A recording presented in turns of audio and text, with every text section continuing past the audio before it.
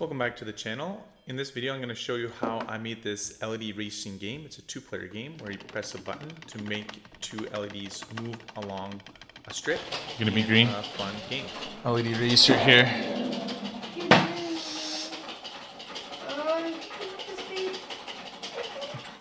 I'm gonna let go.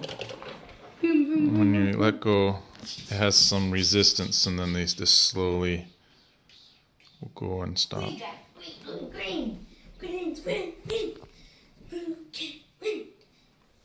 The inspiration for this was I wanted to make a display board for my computer science classroom. So I thought if I had a little game for the students to play, they could race and also display some of the pictures of the computer science uh, competitions and students' work outside my classroom. Here's a schematic of the design. It's very simplistic. It does use uses a WS2812B 5 volt LED strips, uh, 1K ohm resistor, three LEDs, two push buttons, and a speaker. So it's back to the design process, and let's get it uh, programmed with some LED strips. Just have to make it so that it'll increment every time I press the red button. That's a, it's just a simple switch. Okay. So here I have um, connected to a digital pin here, and so that when I push the button, you can see it can detect it. Here I have the button, and so when I click, the LED will move. So I finished my prototype using the Arduino Nano, and now I'm going to use the Arduino Uno. And I have my LED strip, and the buttons working, and I'm, I'm going to be building the frame to hold everything. The reason why I used I I'm using the Uno Arduino Uno is it already has a power jack on it. So here's the design. I've um, built it in Google SketchUp. It says ready, set, go. It has these little holes for the LEDs, red, yellow, and green. And then these are the holes for the button. And it should just fold up into a type of box. Something like that. So all I have to do is laser cut it and import the file. And you want to make sure that you link the line for the laser cutter. And I'm just going to apply the laser speed 100% at 20. So we got the laser cutter here and the wood is three millimeter.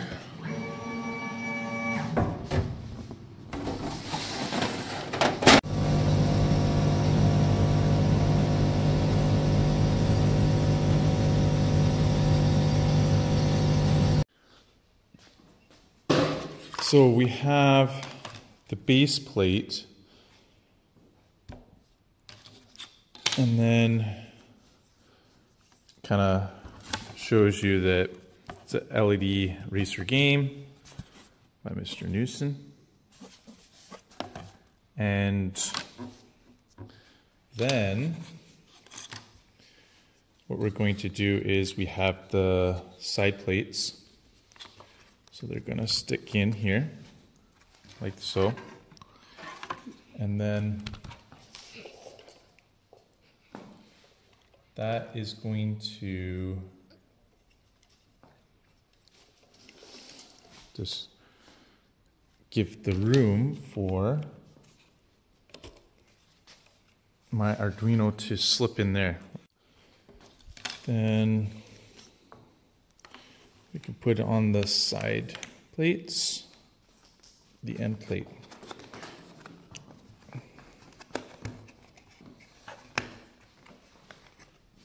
Set go plate fit on like so. Other thing that I have to check out is the height of this button. So this can come off and it has this little clip here and that fits through right here.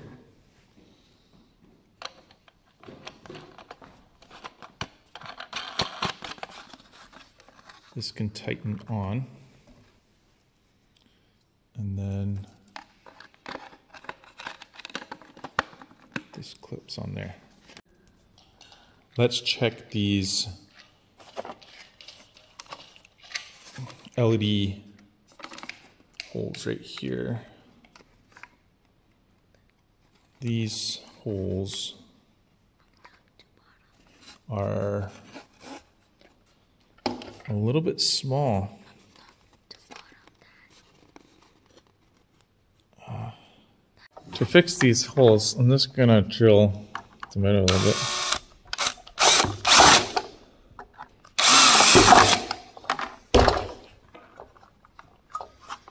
Now we can fit in okay. And then we're just going to have a common ground here.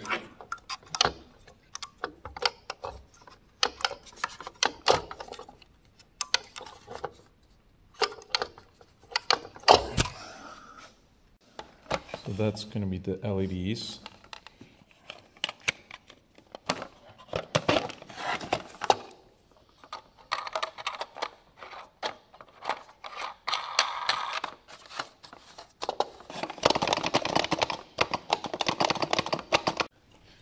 So I just need to extend this connector. So I've unraveled the LED strip. For this, I'm going to cut it here. And I just need this connector. So that I can extend the power to the LED strip. And then I just need three wires that will come to my board here. So my only concern with this idea is the traces on this board are very small. So this is 5 volts here and it's going to this pin which I'm going to use. Um, now this power jack the positive voltage goes here and it has a quite thick uh, trace there that should be okay for several amps and it goes to this uh, protection diode so that if you put the reverse polarity it doesn't fry your board it'll fry this diode. But um, I'm going to be bypassing that and I'm going to feed a wire. And I could feed it right to these positive 5 volt pins, but you'll notice that this trace right here is super thin and I don't think it's gonna be able to pass too much current through that. And so I want to get right to this header pin right here. So I'm gonna get a thicker wire to solder from here to right here, and that will just allow the 5 volts to power my LED strip. And that's going to save me from having um, too many wires. I just need three, and that will, and that will be the header pin to just plug it right in there. Okay.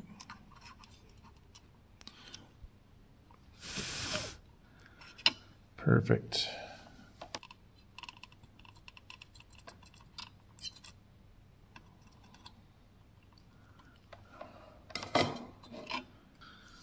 So the current now is going to flow right up through that pin. And that pin should be able to carry at least an amp, just like so. So I'm going to be soldering on the LEDs. The short leg is going to the left so this is going to be a common ground. And then we have the positive um, wires are going to go to these header pins here. So we're going to solder that. Okay, we're going to put a blob of hot glue just so that these guys don't come out. So, you laser cut the hole correctly, you wouldn't have to do that step. Then I have like a 1k ohm resistor because I'm only going to have one of these LEDs on at the same time. So I'm going to solder that on like so. And I'm going to use other resistor wire here to solder on that.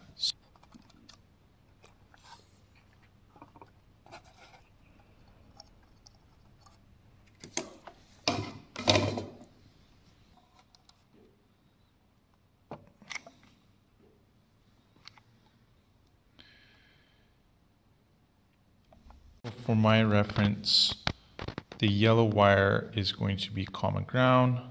The blue wire is going to be the red LED. The yellow one's going to be the green wire. And the purple wire is going to be green. We'll be able to just go into the headers on my controller. Now I'm going to be joining two LED strips together. So I have two reels. Um, one reel is five meters. Just make sure that you get the arrows pointing in the same direction. So that arrow is going up and this arrow is going up and I need to solder those two guys together.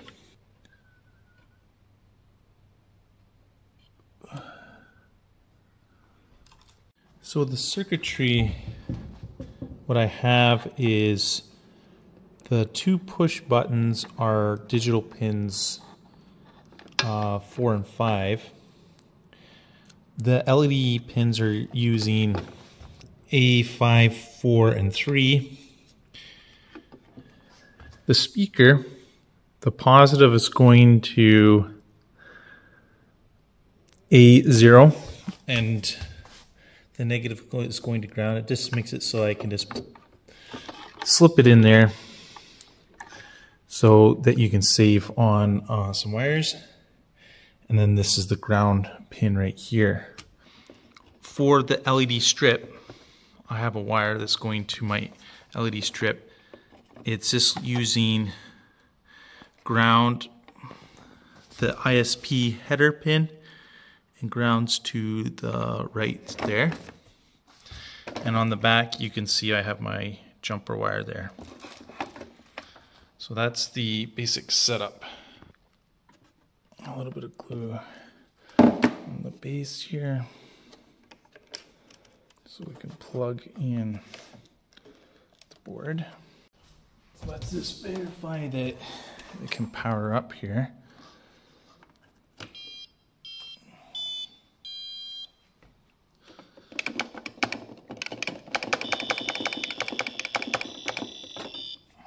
Okay, she's good.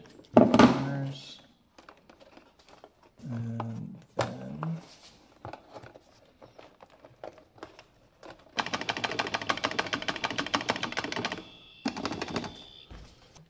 Now, all you have to do is take the LED strips and take off the double-sided tape and put it around uh, the window frame or your display board. And I use a little bit of folding uh, to get it around the corners.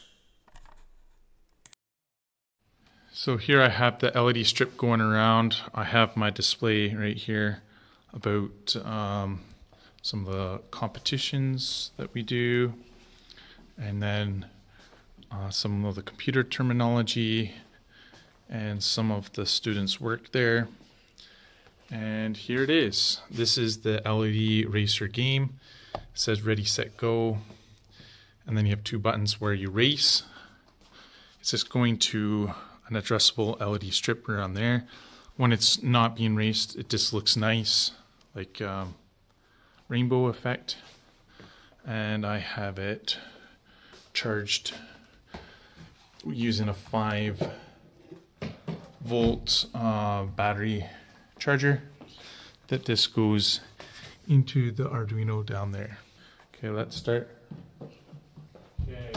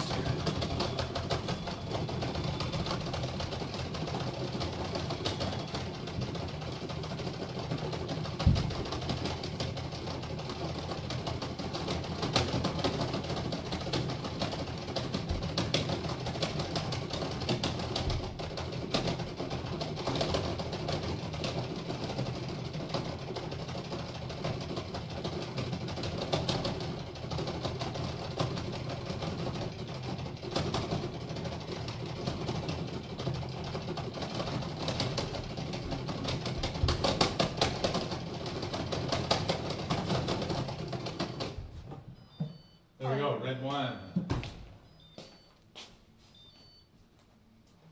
So that's the LED racing game. So thanks for watching this video. I hope it was uh, interesting and that uh, you could get some ideas to put for your classroom display.